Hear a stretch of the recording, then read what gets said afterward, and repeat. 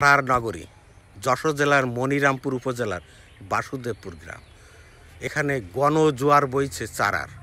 এখানে ফুল কম, চারা বেশি। চারার সরাসরি, কিন্তু এত চারা এখানে উৎপাদন হচ্ছে যে সমগ্র বাংলাদেশ থেকে, বিভিন্ন জেলার থেকে লোক আসে।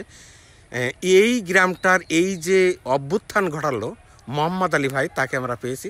ওনার মুখ থেকে শুনুন কীভাবে এই গণজোয়ার শুরু হয়ে গেল চারার।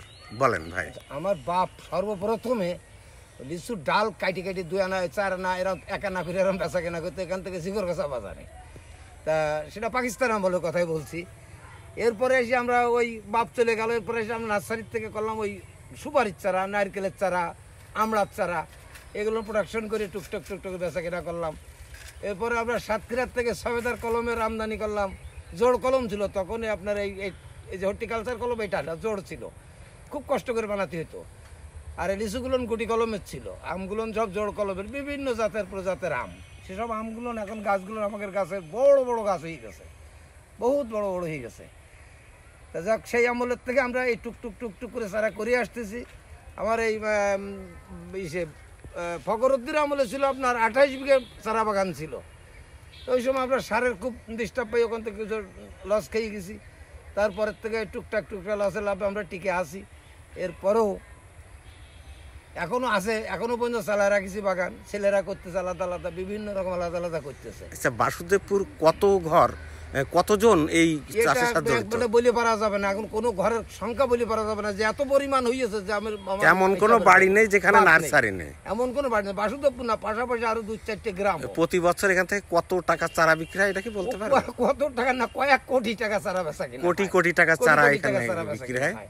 নার্সারিতে একজনের না প্রচুর অনেক লোকের আচ্ছা নার্সারি এখানে এই এই এতে কাজ করে জীবিকা নির্বাহ করে কতজন? ও হাজার হাজার লোক। এক একটা নার্সারিতে এক একটা নার্সারিতে আছে দশ জন বারো জন পনেরো জন পাঁচ জন ছয় জন যেমন বড় যেমন নার্সারি তেমনই আছে। আমি শুনেছি যে প্রচুর বৃষ্টি হলেও তাদের কাজ বন্ধ থাকে না। না কাজ বন্ধ থাকে না। ওই- সেটার তলে করে ঘরের ভিতরে করে এই জন্য কোনো রকম আপনাদের গ্রামে এখন সব থেকে বড় নার্সারি কার? এখন আপাতত বড় নার্সারি ভারত বাংলা ব্যাট দিয়ে ধরেন এখন মুশারেফেরই বেশি। তারপরে আমার ভাই ইসুফ আলীরও আছে অনেক আছে। আমাদেরও আছে। এরকম বেশ কয়েকজনের বড় বড় নার্সারি আছে। বাসুদেবপুর গ্রামে এখন অভাব কি জিনিস? এইটা নাই। এবং সবার মুখে যে হাসি, এটাও। চাষ কাজ আগে গতানুগতিক যে কৃষিকাজ, সেইটা এখন আর তেমন মনোযোগী না। সমস্ত জমিগুলো চারাতে দখল করে নিয়েছে এবং এর পাশে আছে গদখালি।